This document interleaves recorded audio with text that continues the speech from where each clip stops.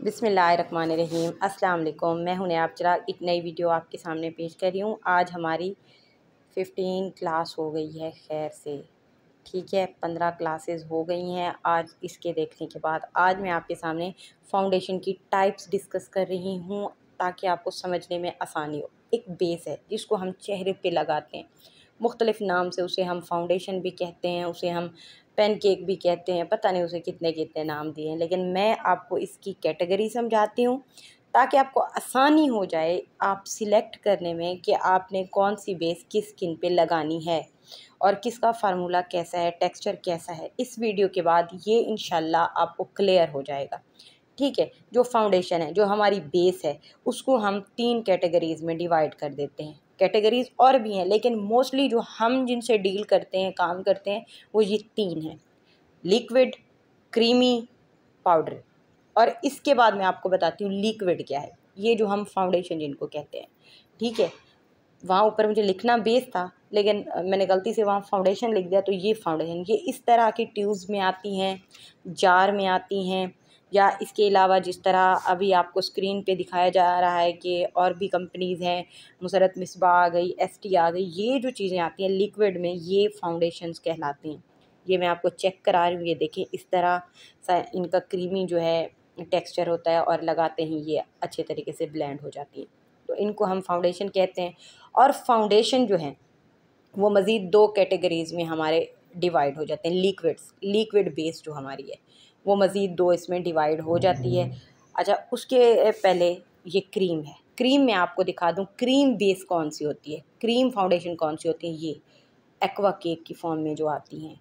इसके अलावा जी मैं आपको बताऊँ ये स्टिक की फॉर्म में जो आती हैं ये हमारी क्रीम बेस होती हैं।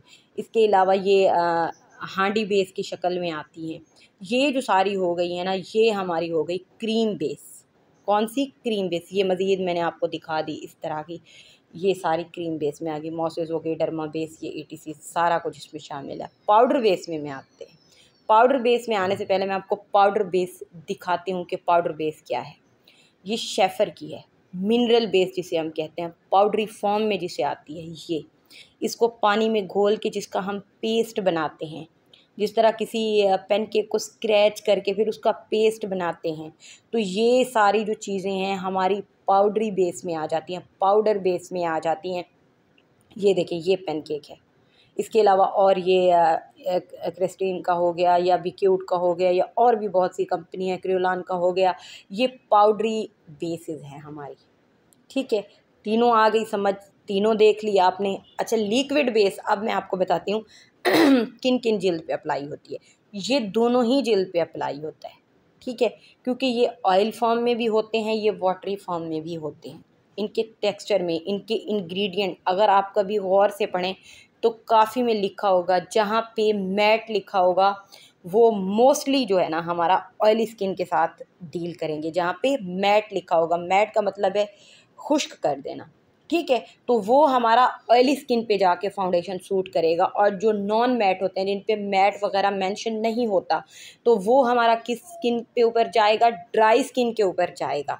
क्योंकि वहाँ हमें खुश की, खुश करने की ज़रूरत नहीं है। ड्राई तो ऑलरेडी इतना ज़्यादा खुश्क होती है कि उसको खुश करने की कोई ख़ास ज़रूरत नहीं होती।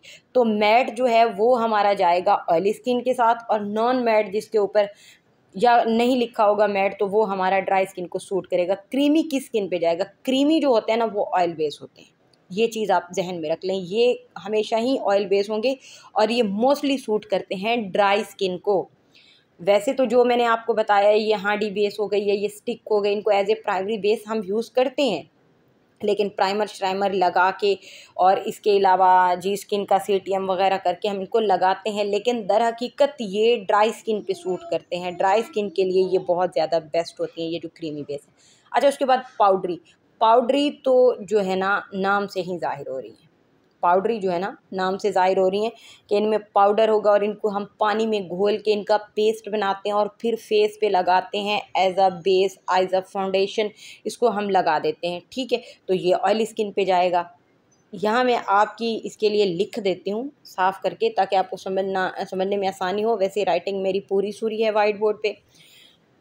तो काफ़ी अरसा हो गया, एक ज़माना हो गया वाइट बोर्ड पे लिखते लिखते तब भी मेरी अच्छी नहीं थी राइटिंग तो अब कहाँ से अच्छी होगी? ये ड्राई स्किन के लिए है क्रीमी ये पाउडर ऑयली स्किन के लिए है और लिक्विड फाउंडेशन दोनों स्किन के साथ डील करते हैं। इन इस वीडियो के बाद आपको ये कन्फ्यूज़न नहीं होगी कि फाउंडेशन लिक्विड्स क्या हैं क्रीम्स क्या हैं पाउडर क्या हैं।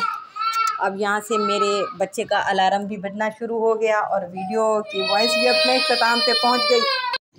ठीक है, ये तीन कैटेगरीज़ आपने याद कर लेनी है, जहन में बिठा लेनी है और आपको समझ आ जाएगी कि कौन सी किस स्किन पे साथ जाएगी। अगर तो आपको मेरी समझ आ रही है तो आप मेरे चैनल को सब्सक्राइब करें, मेरी वीडियो को लाइक करें और शेयर किया करें। इन मैं कोशिश करूँगी बेहतरीन वीडियो आपके सामने पेश कर।